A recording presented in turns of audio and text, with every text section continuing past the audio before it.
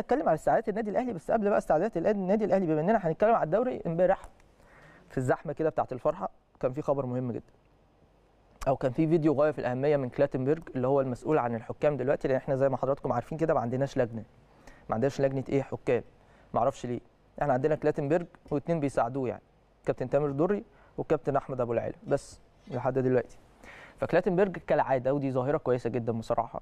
بعد كل جولة بيطلع يتكلم على الأخطاء بتاعة الحكام أو الألعاب أو الحالات اللي فيها جدل شوية يعني فيها اختلاف في وجهات النظر. طبعا من بعض أو من ضمن الحالات اللي تم الحديث عنها واللي أصلا ما فيهاش جدل يعني الزملكاوية قبل الأهلاوية مقررين إن هي كانت لازم تبقى كارت أحمر وإنذار تاني زكريا وردي هي اللعبة دي.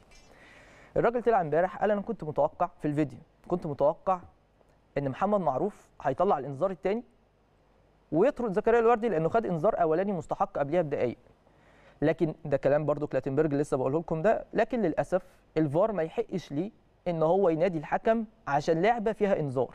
لو فيها كارت أحمر بس لازم يستدعي الحكم. لكن هو الراجل واضح من كلامه جدا إنه مستغرب. زي ما كل مصر مصر كلها مستغربة ليه الكابتن محمد معروف عمل كده؟ بصراحة لقطة مش حلوة خالص. في تاريخ الكابتن محمد معروف. في تاريخه. وهتفضل يعني في الأذهان عند كل الجماهير بمختلف انتماءاتهم بمختلف انتماءاتهم واللي يزيد كمان على كده إن هو كان حاطط إيده في جيبه عشان يطلع البطاقه الصفراء الثانية إيه اللي خلاه ما يطلعش البطاقة الصفراء الثانية دي حاجة برده غريبة. ده السؤال اللي بيطرح نفسه من ساعة مباراة الزمالك والسيراميكا هتقول لي المباراة كانت من قبل كده؟ لأ. هقول لك حط إيدك على الأخطاء اللي بتحصل من بدري بدري والمتكررة من بقالها موسمين. بقالها موسمين. فواضح إن فيروس فيروس الاحتواء لسه متفشي تمام؟ وموجود عند بعض من حكامنا المصريين للأسف الشديد للأسف الشديد رغم محاربة كلاتنبرج ومحاولاته. وبالمناسبة كلاتنبرج بيغلط زي مثلا ما جاب كده الحكم البرتغالي ده اللي ما كانش ينفع يدير ماتش الأهلي والزمالك بصراحة يعني. بس الراجل بيحاول إنه يطور بس بيتصدم بإيه؟ بإن في بعض الحكام ما عندهمش الرغبه أساسا إن نتطور. أنا مقضيها يا باشا. أنا دلوقتي بنزل أحكم. تمام؟ ماليش دعوة بقى. ممكن أميل للناحية دي أميل للناحية دي. أنا مش عمري ما هشكك في ذمة حد يعني. بس أنا بتساءل يا جماعة.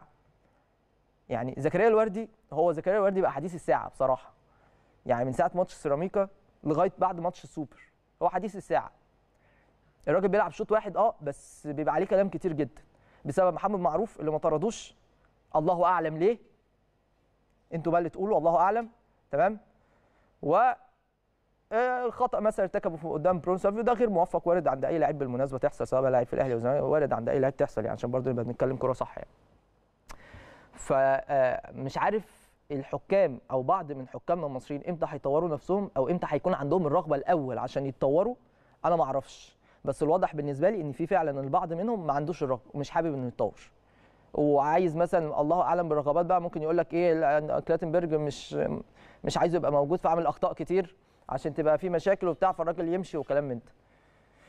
فكان مهم قوي إن كلاتنبرج امبارح يوضح لأن كان في حكم من حكامنا وواحد يعني صديق من أصدقائنا حكام السابقين يعني كنت بتكلم معاه بيقول لي أنا أراهنك من غير ما أقول اسمه وأنا كسبت الرهان يعني أراهنك إن كلاتنبرج هيطلع يدافع عن محمد معروف.